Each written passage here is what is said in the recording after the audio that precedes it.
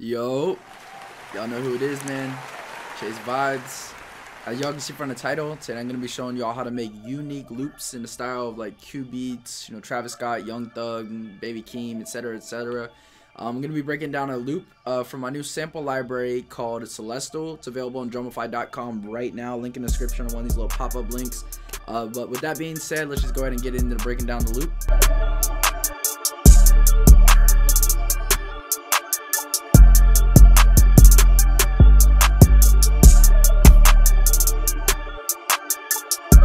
Alright y'all, so quick announcement, we're actually doing a big Black Friday deal on the Drumify website. Get some of your favorite producer sound kits for up to 40% off. This is going to be the best deal of the year, so y'all make sure y'all stop on the website quick.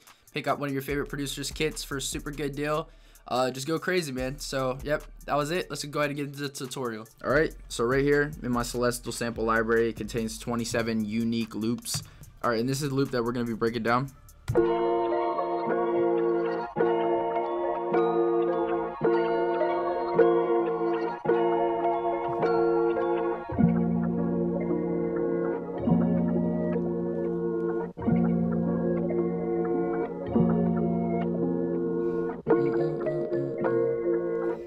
So that's a cool little preview.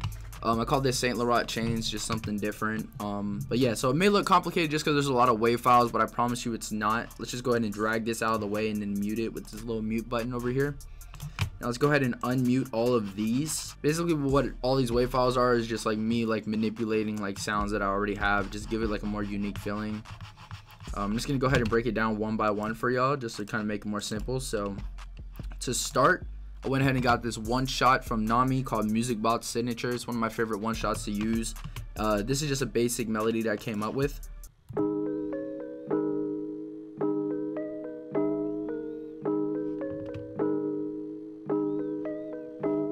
As you can see, some of the notes are a little off the grid. That's just a more like humanized feeling. Um, then after that, I went ahead and just sent it to the Mixer channel. I went ahead and put on Sketch Cassette, preset a little age, and I just went ahead and messed with some of the flutter knobs, turned down the hiss, turned up the U's, tape type 2, standard, and then this is what it sounds like with without it versus with it.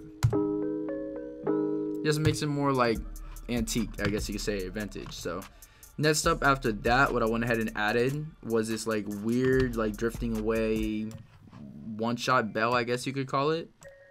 Sounds like that. Mm.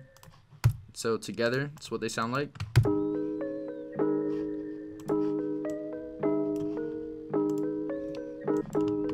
Pretty simple. Next up, I went ahead and added like this nice counter melody, I guess you could say. Uh, it's a glass pluck. Uh, this is what it sounds like.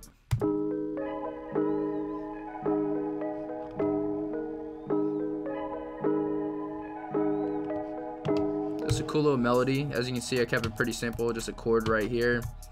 Some little transitional notes leading into D sharp.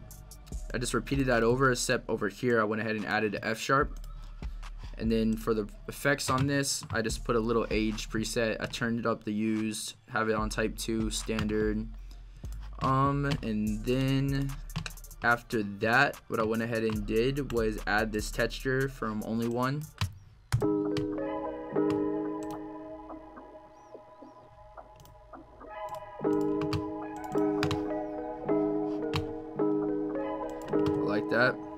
So next, I got this nice little one-shot stab right here.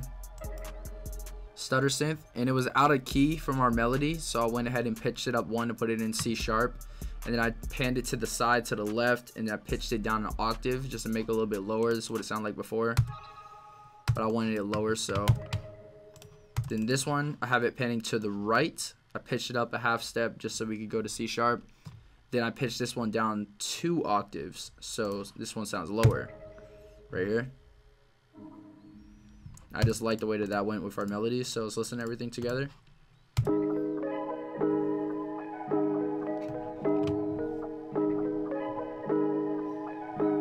Just like a nice ad set in the back, I guess you could say. So after that, what I went ahead and did was I recorded this melody right here into its own separate WAV file. So I went ahead and pressed record. I did option R because I'm on Mac or alt R, I believe, if you're on Windows.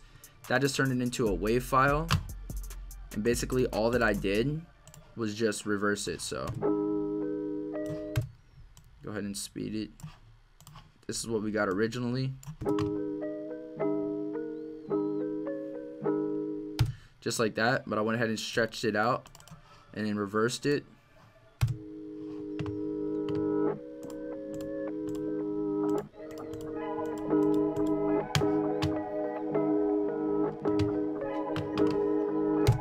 And I also went ahead and messed with the pitch right here. So as you can see, went ahead and just pitched it down two cents.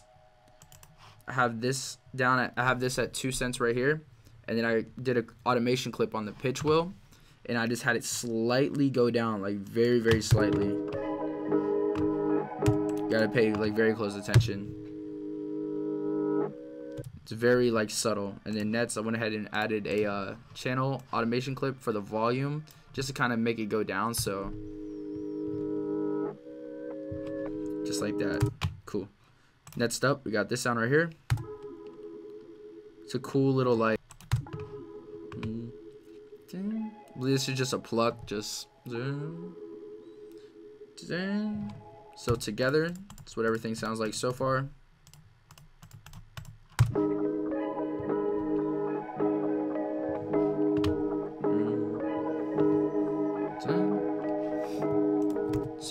That's basically that melody. Then next up, we're gonna move on over here to the second part of the intro. As you can see, I took away this bots. I moved this over here, but I made it unique because I pitched this one down an octave. So now it's lower. So we listen.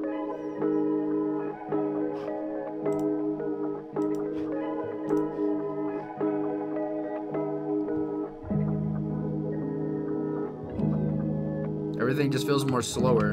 And as you can see over here, this is the stretched out stretched out version of this right here. That's just not reversed. So this is reversed. This one isn't reversed. This is what you get them together. It's a very weird like sound. And then it goes back into the mallets. So this is basically just me, like how I arrange the loop.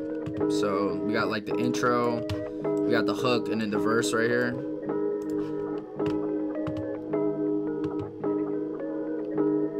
And then all this down here is just miscellaneous sounds of like these up here. So we don't have to worry about those. But yeah, so basically, next what I went ahead and did was just put a Fruity Soft Clipper on my master that's basically that. So yeah thank you guys for watching this tutorial. I'll make sure to play the full loop at the end of the video. Uh, once again thank you guys for watching. I love y'all. If you guys want to show me any support make sure to check out my new kits on uh, drumify.com i'll have the link in the description one of these little links up here. Make sure to follow me on instagram at chase vibez. Make sure to follow Splitmind as well. Uh, make a comment below what your favorite part of this video was or what you guys want to see me make more of in the future. Uh, so yeah i appreciate y'all for watching. I'm out